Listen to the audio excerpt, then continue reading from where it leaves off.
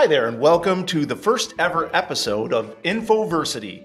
This podcast is coming to you from Syracuse University's School of Information Studies, where we investigate the intersection of technology, business, and humanity. Today, I'm joined by Professor Jennifer Stromer Galley, a senior associate dean at the iSchool and renowned researcher in the field of social media and politics. Hi, Jenny. Howdy. In the second edition of her book, Presidential Campaigning in the Internet Age, which came out in 2019, and a history of presidential campaigns and how they have been adopted and adapted to digital communication technologies from 96 to 2016. She has more recently been working to make it easier for public journalists to track what political candidates say to their social media followers and received a John S. and James L. Knight Foundation grant to build an online dashboard that tracks candidate spending and messaging. Jenny has also been a principal investigator in a $5.2 million project called the Trackable Reasoning and Analysis for Collaboration and Evaluation, or TRACE, funded by the Intelligence Advanced Research Program Agency, IARPA. The project experimented with different tools and interfaces to support complex reasoning and intelligence analysis. And earlier this month, she has received a grant from the knowledge graph database company Neo4j to track misinformation on social media and in online political ads in the 2024 US election. This topic is of particular interest as we kick off a major election year in the US and abroad. And in fact, 2024 is slated to be the biggest election year in global history, with an estimated 4 billion people going to the polls in 60 countries. So, welcome, Jenny. Thank you for joining us. Oh, it's my pleasure. I'm delighted to be part of the inaugural podcast for the iSchool. I think that's pretty cool. And I really thank you for being here. And um, that was one heck of an introduction that we had for you. that was that was amazing. I mean, your accomplishments um, are just incredible. Um, can you spend a little bit of time and talk about how you got involved and got started in your interest in um, political elections? Um, yeah, I can. Um, I, I, I don't know if it's embarrassing to say, but I actually got started by studying Bob Dole's website. So this is back. Imagine it's 1996. And uh, this really old guy named Bob Dole, who was a senator, had decided to run for president against uh, Bill Clinton for Clinton's second run um, for the um, for a second term as president. And you know, this is back when right there's there's no social media. There are barely websites. You know, the World Wide Web is just really starting to diffuse. People in higher education had email addresses and they they might be able to create a little website or web page, but it was still a really novel technology. And so I was really struck by the fact that candidates could use digital media to talk directly to supporters. Because imagine before the web, before email, before social media, and all the things we currently are consumed by, we mostly got our information from three television stations for news. And maybe by the 90s, right, we had broadcast, uh, sorry, cable, that's what I meant to say. So we had Fox News, we had CNN, and then we had a newspaper that came and radio stations. And so the mass media was a very powerful um, intermediary between political candidates and politicians and the public. And so with the internet coming along and um, potentially democratizing, like little d democratizing the ways that the public could engage with the political elite in the country and vice versa. I just, I was really fascinated by that. So I wrote my master's thesis on Bob Dole's website and this new political campaign medium. And that's, that's kind of where things started. That's fantastic. Um, you've obviously been involved in social media for a very long time. What do you think's changed about social media since its inception to today? Um, so, in the context of how political campaigns use digital technologies, I mean, there's been a lot of evolution. Um, so, I, you mentioned in the intro uh, the book that I wrote, Presidential Campaigning in the Internet Age. And, you know, it's a history. It looks at a decade of how candidates evolved their campaign strategies as the digital media environment changed, right? Because they both change hand in hand. Mm-hmm. And we don't give a lot of credit for this, but actually, innovations by campaigns do drive technology. And there's actually a long history of this.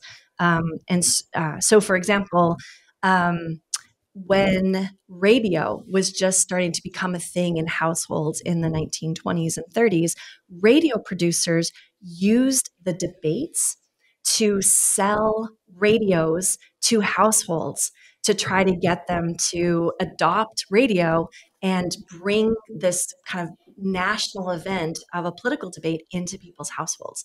And so um, you, you see similar kinds of interactions, if you will, between the companies and the technologies, um, these kind of innovations in information technology and campaigns, because presidential campaigns in particular are when you have a, kind of a mass media event, right? The public, generally speaking, is sort of tuned in. And so um, it allows for the technology companies to really leverage their technology to say, hey, if you use us, then you can gain additional connection to this, this kind of national event. Um, so, you know, looking across from 1996 through 2016, um,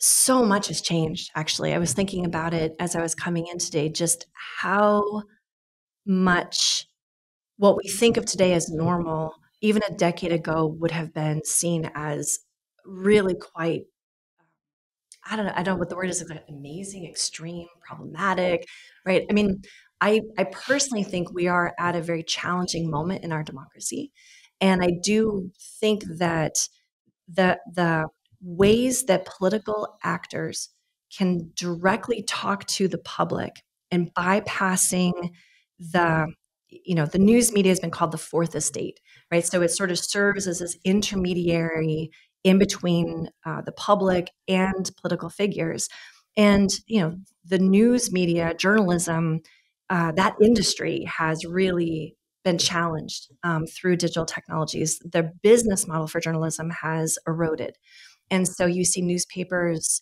uh, folding all over the country. You know, here in Syracuse, our daily newspaper is actually only delivered now three days a week.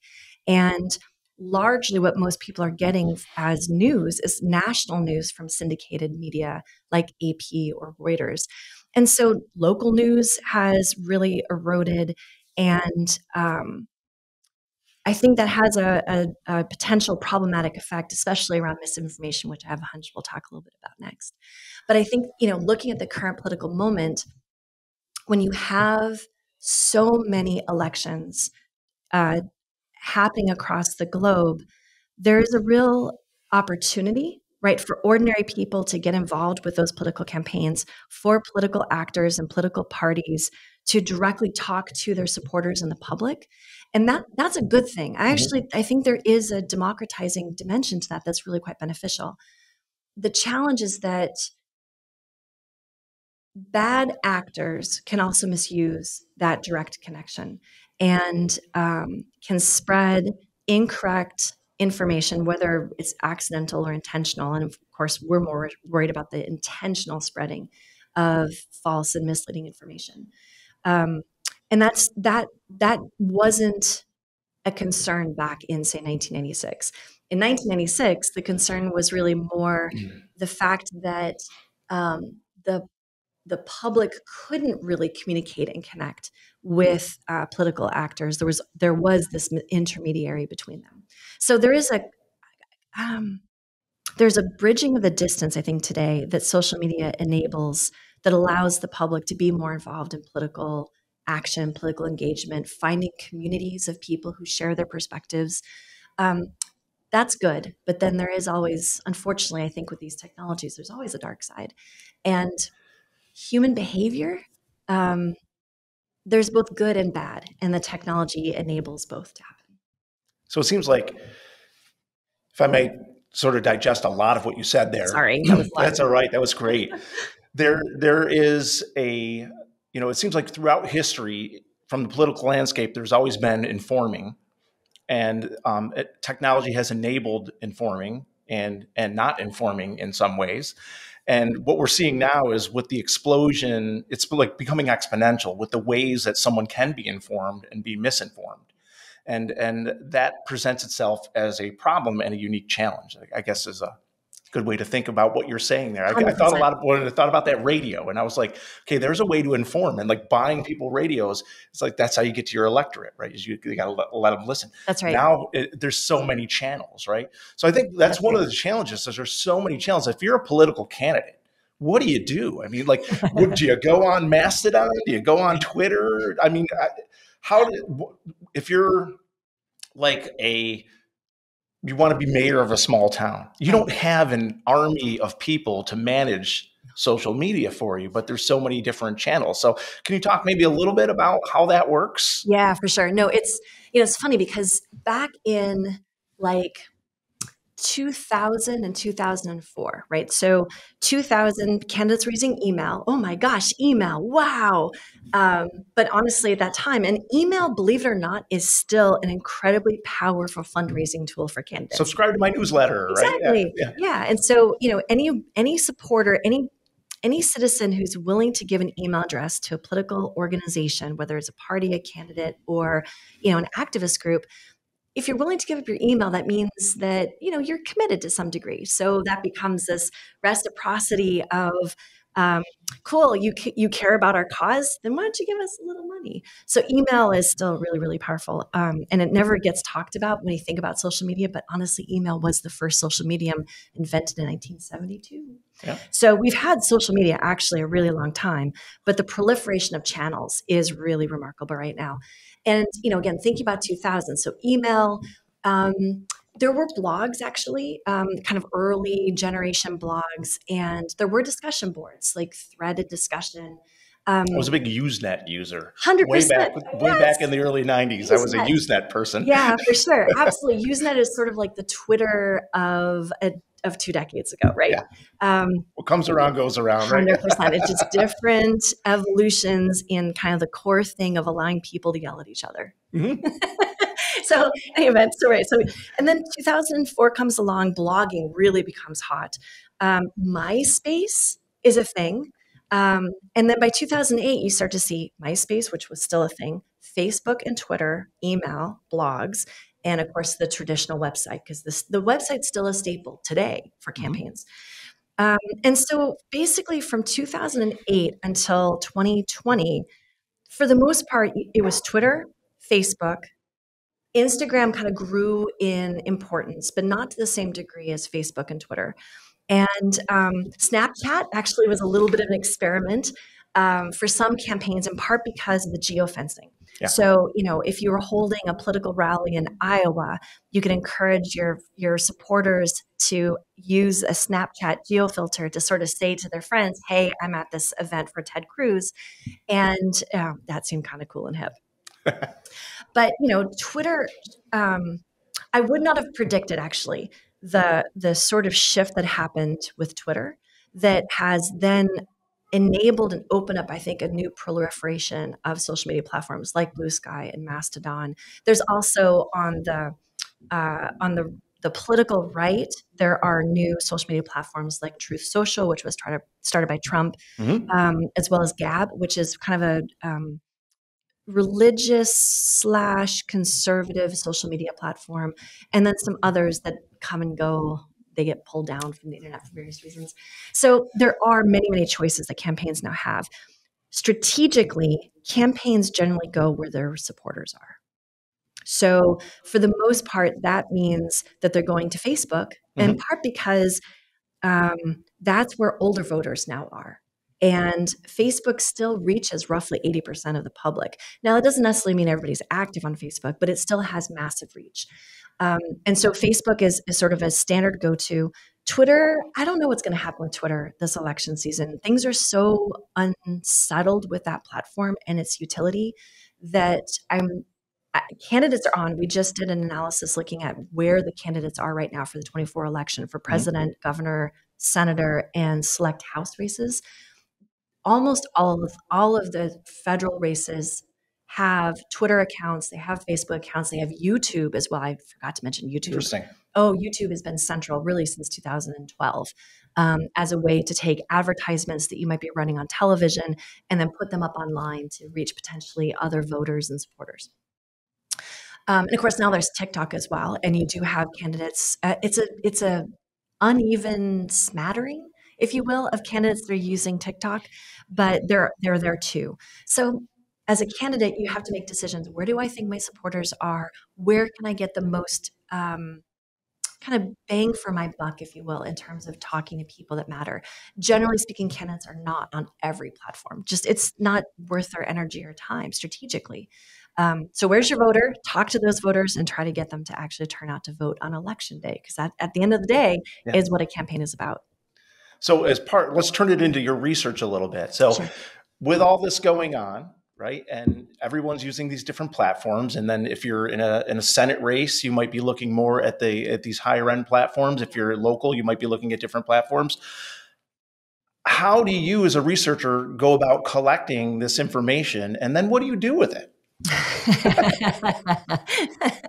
so, um, so in I'm trying to think here. So roughly, so I started here at the School of Information Studies in 2013, and um, from 96 through 2012, I was looking very closely at how campaigns were using digital media as part of their communication work.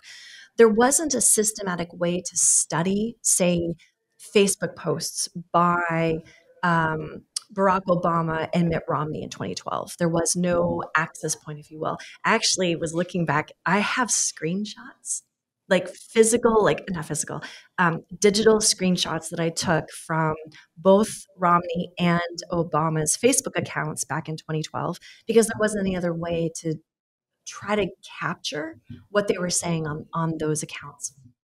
But the beauty of being in a school of information studies, combined with the platforms like Facebook opening up what they call APIs, which are application programming interfaces, you can think of it as basically a door between um, me and the database at Facebook. And Facebook can open up that door. And when they do, then we can actually more easily pull down um, in database form the candidates' messages, uh, when they post those messages, how many people reacted to those messages. So that's been transformative. And so when I started here at the school, I started working with Jeff Hemsley, another colleague in the iSchool, um, and a few others who now have uh, retired, looking at and collecting social media messages. And so um, I've long been concerned about the challenges of really tracking what the candidates are saying to their publics on social media. There's so many messages. As you mentioned, there's a lot of different platforms, and it's just really hard to keep track of it all. And I was concerned that for journalists who are following the, the political elections, many of them don't have the computational skills or the ability to do that kind of um, collection analysis work to really see what the messaging looks like. Um, and with micro targeting, which I think is especially a concern. So, micro targeting is basically a candidate saying one message to one one constituency and a different message to a different constituency. And I think thinking about misinformation and all of the challenges in our communication environment right now, when you've got multiple social media platforms and you've got many, many messages, it's easy for bad actors to hide bad messages in the massive volume of information, right? It's a kind of needle in a haystack problem. So the goal that we started back in 2014, um, mm-hmm.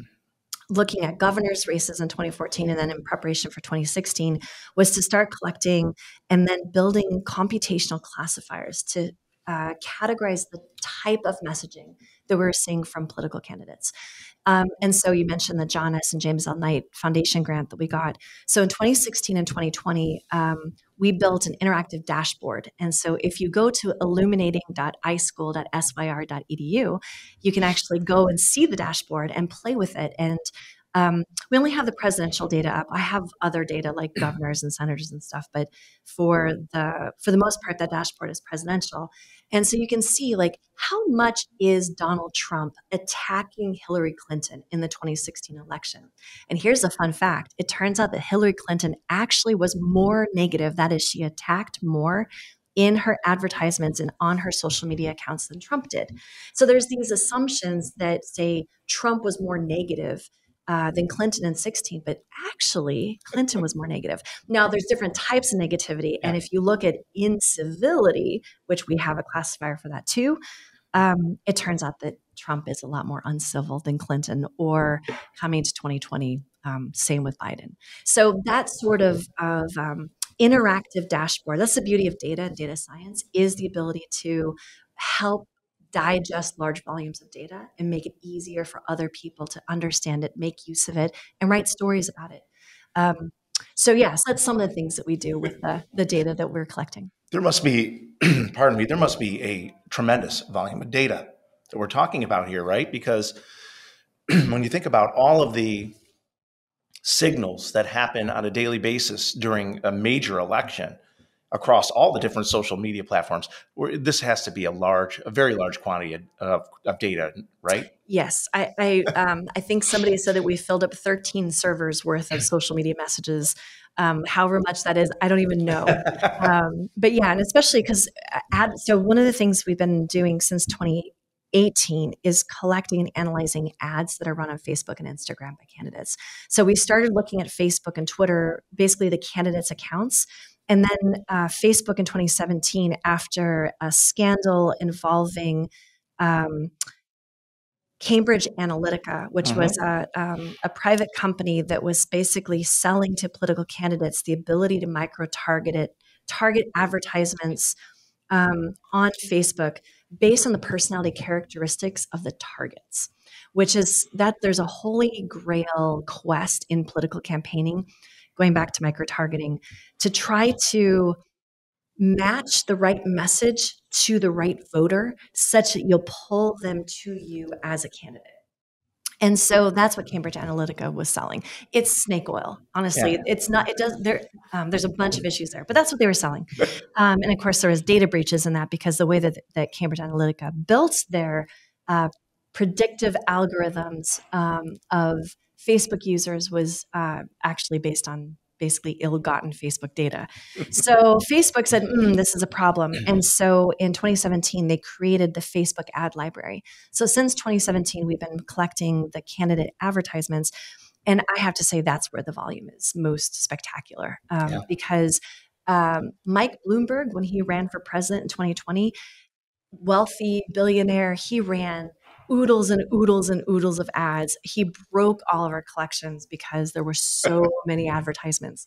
Um, and as we come into this election season, we're running into the same issues because um, we're not only collecting candidate advertisements now, but we're also collecting ads around the candidates. Oh. So what's interesting is that if I give Facebook evidence of my existence, basically my driver's license. I, t- I take photocopies of my driver's license. I give that to Facebook.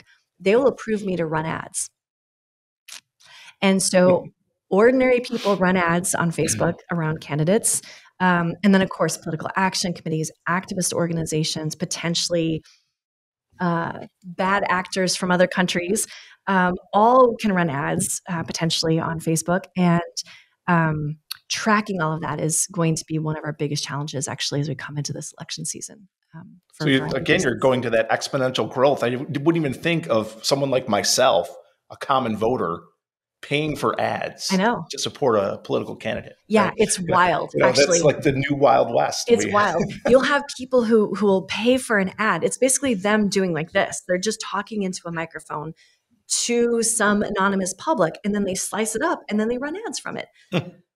I, yeah, the impact and effect is not clear, but hopefully we'll have a better sense of that this time around. So let's go back to something that you said earlier. We we know there was evidence of um, Russia attempting to meddle in our presidential election in 2016. In yeah. 2016, right? Was was that a good example of micro targeting, or was that?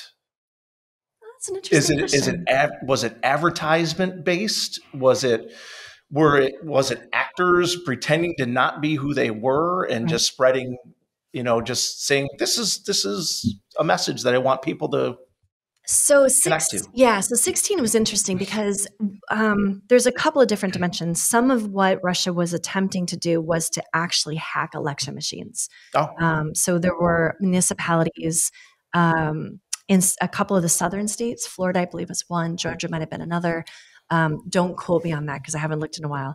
Um, but there were a set of municipalities where uh, Russia was actually trying to hack into electronic voting machines. They were unsuccessful. There's no evidence that there was any inappropriate vote tallies coming out of that effort. So there, so there's that and that's a whole other conversation just how we vote and, and susceptibilities but that's Maybe those are air gapped though you know they're not There's, even on a network so. 100% that's exactly right. So um, so that's one dimension but the other dimension that caught the attention of congress and the intelligence agencies were the efforts by uh, rt which is russia today which is um, basically a kind of a Russian troll farm based people hired by the Russian government mm-hmm. to spend time building social media accounts in the United States. So these are generally Russians who have good English, who then spend time um, building up what look to be legitimate Facebook or Twitter accounts. And then at some point, they kind of shift from being posts about puppies and you know what i ate for breakfast today to being political messages. And so there was coordinated efforts especially in florida to try to organize rallies in support of trump that were actually rt organizing those events. So it wasn't ordinary citizens in florida saying yay trump. It was actually russian actors trying to mobilize american citizens in addition to that, Russian operatives were also creating a proliferation of Twitter accounts that basically were trying to sow division within the electorate, especially on racial lines. Um, so both kind of pr- um, kind of anti. I don't know how to put this, kind of racist messages as well as um, kind of pro um, uh, civil rights messages in an effort to push Americans to basically hate on each other. Yeah. Um, and that that effort to sow division in the United States um, is something that was really prevalent in 2016, and then actually continued a little bit in 2020. So you know this is this is part of one of the challenges with the internet, right? Is it brings out the worst in people, brings out the best in people, and there's a lot of misinformation out there. Um, you know, you have children, I have children. I'm constantly correcting correcting their their facts that they get on the internet and and uh, and things like that. And so, can we talk a little bit about the current landscape as far as misinformation and what's going on in elections with misinformation? So there's a lot of concern about the potential for misinformation in this election season. Um, you know, there's uh, it, it's hard to not know a little bit these days about the concern of deep fakes, for example, which are basically ways for people to create videos that look like they might be, say, a video of, of former President Barack Obama, um, saying or advocating for something when in fact is entirely a digitally created um, avatar and a digitally created message that was puppeteered by somebody. And um, so deep fakes, you know, the, the, the concerns about generative AI, the that is basically the ability to um, pretty easily and quickly create fake um, representations of politicians um, or journalists actually uh, is i think a, a genuine concern um, and because going back to what you mentioned earlier the proliferation proliferation of so many different social media platforms it's really hard to to monitor to track um, the messaging comes from many different sources including politicians themselves in terms of sort of pushing misinformation um, and so you it's a it's a it's a mess, honestly. Um, and I, I, think that it it will be um, important for the public to be savvy about. Um,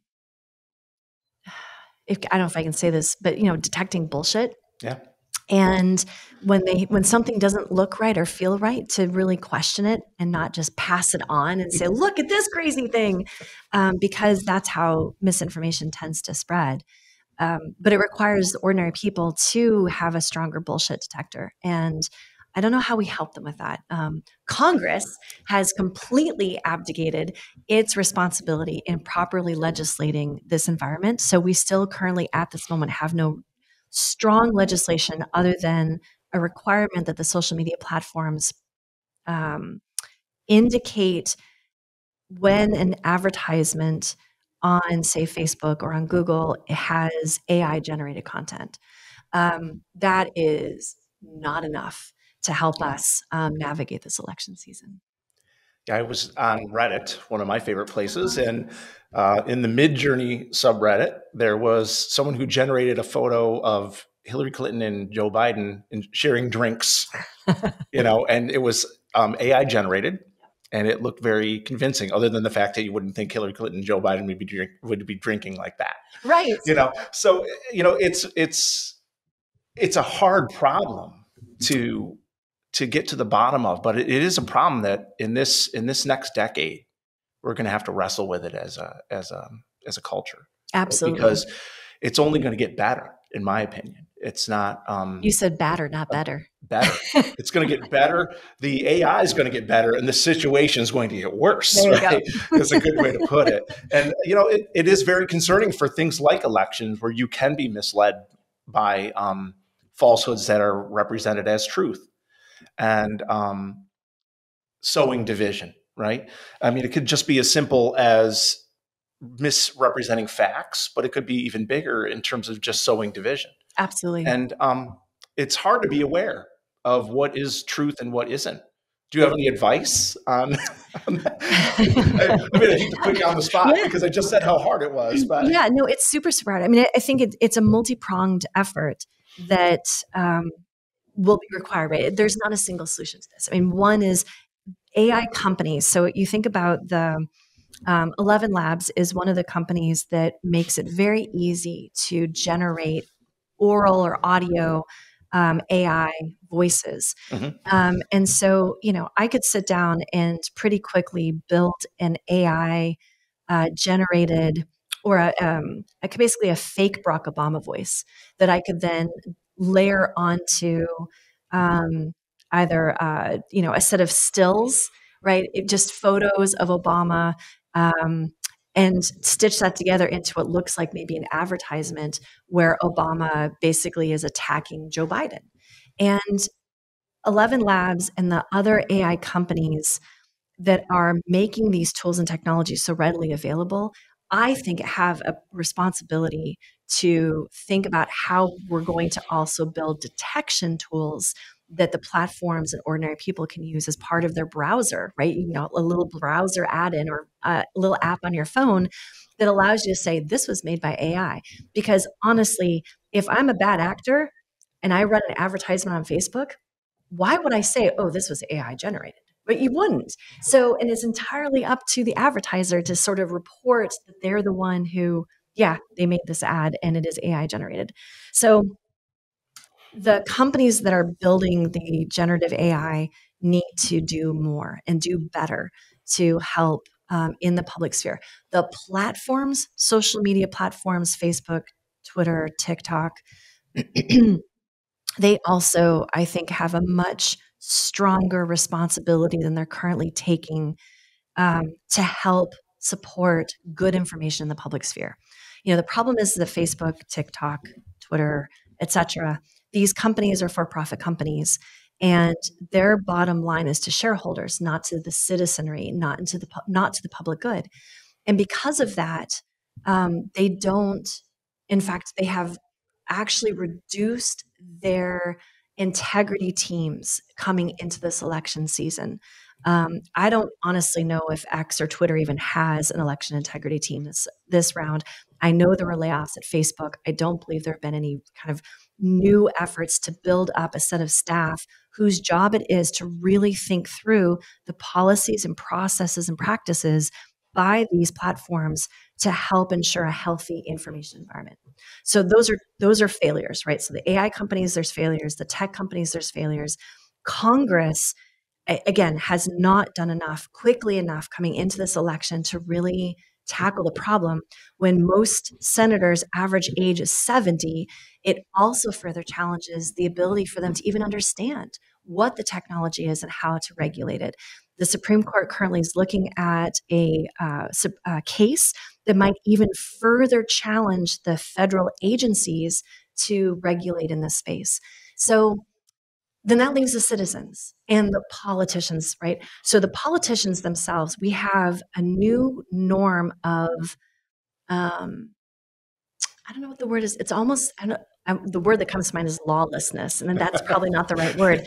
But once upon a time, even a decade ago, there was an expectation that politicians held themselves up to a certain standard of truthfulness, of decorum to the opposition, to the news media, to people that they disagreed with. That currently doesn't exist. Um, and as a result, there doesn't seem to be any norms that are holding politicians back from saying what's not true in in the spirit of expediency. Um, so that's a huge problem. And then the public, right? So then it's like, okay, well, you American citizen, you better just get better at this and figure it all out. Um, but that's also very very challenging, right? We're busy. Uh-huh. We have busy lives. We are overwhelmed with information. Um, I'm a political junkie. I, you know, I, this is my lifeblood. But for most poor, ordinary people, politics is just one of many, many things they might pay some bit of attention to. And when you're, it's unfortunately the phrasing in political science is low informed voter, which is kind of a derogatory term. but the idea is that ordinary people who who aren't junkies like me don't have a lot of knowledge of actors, events, um, and as a result, they're more susceptible to misinformation because it, they don't have as strong a bullshit detector. And so that then leaves them to be more susceptible to incorrect information. Then you fall into the problem of ideology and identity. You know, ordinary people, some of them are really beholden to their political party and it's part of their identity. And when that happens, when information comes to them that is false but aligns with their beliefs, they're more likely to then believe it and then pass it on. Yeah. And so that's also um, very much a challenge. So I've just laid out all the problems. I don't know what the solutions are other than a multi pronged effort by educators, by ordinary citizens themselves, by politicians, by Congress and the courts, and by the platforms to really take this problem seriously.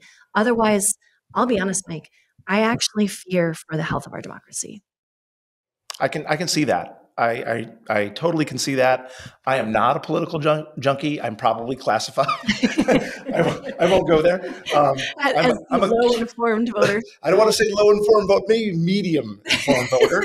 Um, and but I would I would agree with you. I think based on my understanding and knowledge of what the capabilities are as far as deep fakes in video, um, you know, I for my own classes, I'm thinking about using voice printing so that I don't have to just keep speaking all the time. I could just write out what I want and then AI generate my own voice, right? And you're going to end up replacing the professor. Yeah, I just want to replace myself, right? and but but you can see how these things can be used for um, for not so good purposes, right? And and yes, it isn't very realistic to expect that everyone out there is going to be um, able to figure out whether or not they're being duped. Right. Um, and some people, if it aligns with their ideology, might not think about it as being duped. Exactly. Right? And so there are a lot of different there are a lot of different challenges here. And I think the biggest one, if I may summarize all the things that you said, which was so informative, is that the scale has changed, right? I think these problems have always been there in some way or another. It's just technology, as it does with everything, becomes this this enabler that makes us all work harder and faster. And now things are are, are um, doing what they do at a break at a breakneck pace, right? and that's what becomes concerning is that um, you know, we used to have the, the grapevine game where you play and spread a rumor. And then by the time it got to the 10th person, it wasn't the same rumor. Those kinds of, or the telephone game. The telephone game, yeah. Those sort of things now um, happen at breakneck speed, right? And like the news cycles are so short. And you know, I guess one one way that we deal with crisis nowadays is just let it pass because it will it will go away. And so those ends up being a really a real big challenge. And so yeah, I hope we do find something. I think at some point it will we will level out with this because um, like so many technologies that are disruptive, they do find a way um, to to come out even. But I think the biggest challenge, and one thing that you mentioned before, is that there's so many all at once right now. Yeah. With between the deep fakes and the generative AI, we can generate text now. We can generate video. We can generate audio. Uh, it's it's a lot all at once. And and it's, and it's all on your phone, right? So yeah, it's so yeah. easily it's available. It's in your hands all the time.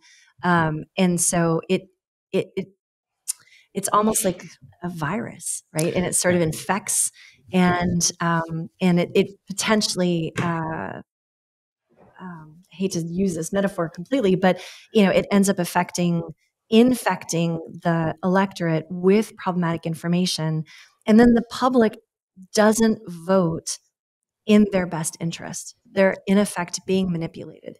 And um, you know, my home discipline is the discipline of communication, and the communication discipline got its start primarily by the study um, during World War II and the study of propaganda. And I feel like we are in a new moment of propagandistic tendencies in the democracies around the globe. And social media, like radio, um, in in its time, allows for the this kind of rapid spread of information, and it allows bad actors to really potentially manipulate. And anything that I can do as a researcher to help protect the public um, or inform the public about what they should be watching out for, worried about, and also to help journalists and policymakers to think about how to support a more healthy information environment. That that's what motivates me as a researcher. Well, that's fantastic. I appreciate you spending your time with me this afternoon and sharing your story. Um, is there anything else that you wanted to talk about before we wrap up? oh my gosh. I feel like we've been in such a gloom and doom note. I know. I know. It's very sad. But I mean, on the flip side, you know, um, is there a flip side? I don't know if there is a flip side. Well, you know, I, I, look at it. One of the things that I was thinking about is, um, you know, you're mentioning propaganda, right? And it's like propaganda used to come from the authority, you know, like the news media outlets could spread propaganda and the governments could spread propaganda, but now yep. anybody can spread. I guess if I have enough money, I can ever do some advertisements and yep. spread some propaganda, That's right? I, maybe I don't want a flat Earth. I want a inverted um, sphere for my Earth, right? But um, you know, and that I guess that's not a that's not a good thing by by any means. Um, but it does allow people's voices to be heard exactly right? yeah so i mean i guess one of the good things in there is is the little person um, can has has a bigger voice now than they've ever had yes right yes absolutely right yeah. and that that democratizing potential i mean going back in 1994 and 1995 when the web was starting to really disseminate that was the big dream is that the, this new digital technology would democratize. And and it has um, but it's gone a little warped. And so i think that's the effort as we come through the next year or two is to figure out how do we um, how do we put some checks and balances in place so that people can have a powerful voice but it isn't um, creating a toxic information environment I think that's the challenge.